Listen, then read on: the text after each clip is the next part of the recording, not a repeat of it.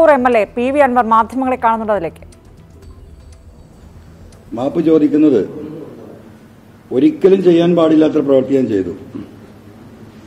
പല police ഓഫീസർമാരുടെയും phone call ഞാൻ ചോർത്തി.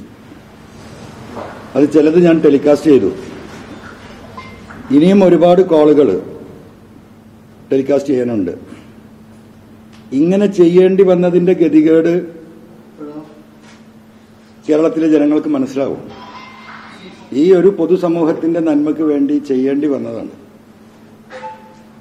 ഈ കള്ള ഗ്രൂപ്പിന്റെ യഥാർത്ഥത്തിൽ പറഞ്ഞാൽ പക്ക ക്രിമിനൽസിന്റെ ഈ നാടിനെ സംരക്ഷിക്കാൻ ജനങ്ങളെ ജീവനും സ്വത്തിനും സംരക്ഷണം ഈ നാടിന്റെ ആഭ്യന്തര സുരക്ഷിതത്വം ഉറപ്പുവരുത്താൻ വിശ്വസിച്ച് ഗവൺമെന്റ് ഏൽപ്പിച്ച ഉത്തരവാദിത്തപ്പെട്ട ചില ഓഫീസർമാർ. നടത്തിക്കൊണ്ടിരിക്കുന്ന രാജ്യവിരുദ്ധമായ ദേശവിരുദ്ധമായ സാമൂഹിക വിരുദ്ധമായ അവരുടെ പ്രവർത്തികൾ. ജനങ്ങളെ സർക്കാരിനെ എന്റെ പാർട്ടിയെ ബോധ്യപ്പെടുത്താൻ ഇതല്ലാത്ത ഒരു മാർഗവും എന്റെ മുമ്പിലില്ലാത്തതുകൊണ്ടാണ് ഈ ഫോൺ കോളുകൾ ചോർത്തി ജനങ്ങളുടെ മുമ്പിൽ എത്തിക്കേണ്ടി വന്നത്. അതുകൊണ്ട് ഒരിക്കൽ കൂടി പ്രിയപ്പെട്ട എന്റെ കേരള ജനതയോട് ഞാൻ വീണ്ടും ആ കാര്യത്തിൽ ക്ഷമയോദിക്കുകയാണ് ഇപ്പോ നിങ്ങളൊക്കെ പറയപ്പെടുന്നത് പൊളിറ്റിക്കൽ സെക്രട്ടറി ശശി അതുപോലെ തന്നെ A D G P Ajith Kumar മുഖ്യമന്ത്രി വിശ്വസിച്ച് ഏൽപ്പിച്ച ഉദ്യോഗസ്ഥരാണ്. തീർച്ചയായിട്ടും അങ്ങനെ തന്നെയാണ്. ഇവിടെ വിഷയം വരുന്നത് ആ ബഹുമാനപ്പെട്ട മുഖ്യമന്ത്രി ഏൽപ്പിച്ച വലിയ ദൗത്യം ഉത്തരവാദിത്വം സത്യസന്ധമായി അവിടെ നിർവഹിക്കപ്പെട്ടുവോ എന്നതാണ് ഇവിടുത്തെ രാഷ്ട്രീയപരമായ എന്റെ പ്രധാന പ്രശ്നം. അതില്ല എന്നതിന് ഒരുപാട് തെളിവുകൾ എന്റെ കയ്യിലുണ്ട്. ഇപ്പൊ ഇവിടെ ഇരിക്കുന്ന പോലീസ് സൂപ്രണ്ട് ശശിധരൻ. നിങ്ങൾക്കറിയാം നവകേരള സദസ് മലപ്പുറം ജില്ലയിലേക്ക് കടന്നു വന്നു. നവംബർ ഇരുപത്തിയൊമ്പതാം തീയതി ബഹുമാനപ്പെട്ട മുഖ്യമന്ത്രി അരീക്കോടായിരുന്നു. രാവിലെ പതിനൊന്ന് മണിക്ക്. ഉച്ചയ്ക്ക് ശേഷം നിലമ്പൂരിലായിരുന്നു. അരീക്കോട് ഉണ്ടായ ഒരു സംഭവം അന്ന് നിങ്ങളൊക്കെ റിപ്പോർട്ട് ചെയ്തതാണ്.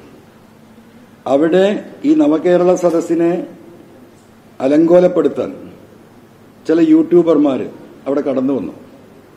അവർ ചില പ്രശ്നങ്ങളുണ്ടാക്കി. അവിടെ വന്ന ആളുകളുമായി വാക്കേറ്റമുണ്ടായി. ഇതെല്ലാം കണ്ടു നോക്കി നിന്ന പോലീസ് അപ്പുറത്തുണ്ട് പോലീസ് ആ വിഷയത്തിൽ ഇടപെട്ടില്ല. അവിടെ ഉണ്ടായിരുന്ന സഖാക്കൾ ആ വിഷയത്തിൽ ഇടപെട്ടു. അവരെ ബലമായിട്ട് അവിടുന്ന് മാറ്റി. ആ സദസ്സിനെ ആയിരക്കണക്ക് പതിനായിരത്തോളം ആളുകൾ പങ്കെടുത്ത ആ സദസ്സിനെ അലങ്കോലപ്പെടുത്താൻ മുൻകൂട്ടി ഗൂഢാലോചന നടത്തി വന്നവരാണ് ഇവർ പോലീസ് അനങ്ങിയില്ല. അങ്ങനെ ഈ വിഷയം പിറ്റേ ദിവസം ബഹുമാനപ്പെട്ട മുഖ്യമന്ത്രിയോട് പിറ്റേ ദിവസം അദ്ദേഹം മുപ്പതാം തീയതി സോറി മുപ്പതാം തീയതിയാണ് നവംബർ മുപ്പത്. ഒന്നാം തീയതി അദ്ദേഹത്തെ രാവിലെ സദസ്സ് നടക്കുന്ന നവകേരള സദസ്സ് നടക്കുന്നതിനുമുള്ള പത്രസമ്മേളനത്തിൽ അവിടുത്തെ പത്രക്കാർ ഈ വിഷയത്തെക്കുറിച്ച് ചോദിക്കുകയുണ്ടായി. ഒരു ഒന്നര മിനിറ്റിലെ ബഹുമാനപ്പെട്ട മുഖ്യമന്ത്രിയുടെ മറുപടിയാണ്. ദയവായി അതൊന്ന് കേൾക്കുക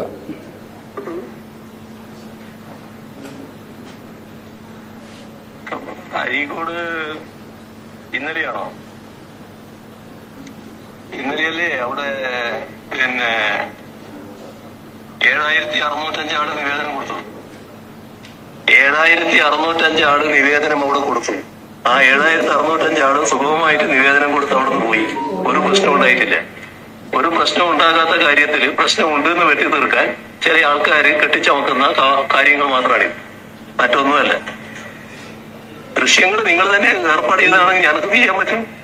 എനിക്കതൊക്കെ പറയാൻ പറ്റും. നിങ്ങളിപ്പോ ഒരു ഒരാളെടുത്ത് അനാവശ്യമായി തട്ടിക്കയറുമ്പോ അയാളുടെ പിന്നെ എന്തെങ്കിലും പറയില്ലേ? നിങ്ങൾ ആ ദൃശ്യം എടുത്ത് കൊടുത്താൽ ആ ദൃശ്യം ദൃശ്യാന്ന് പറഞ്ഞ കാര്യമുണ്ട്? എന്താ സംഭവിച്ചെന്നറിയും? ഏഴായിരത്തി അറുന്നൂറ്റഞ്ചാൾ പങ്കെടുത്തിയൊരു പരിപാടിയാണ് നിങ്ങൾ കൊച്ചാക്കി കാണുന്നത്. അതൊരു ശരിയായ മാധ്യമപ്രവർത്തനം അല്ല കേട്ടോ.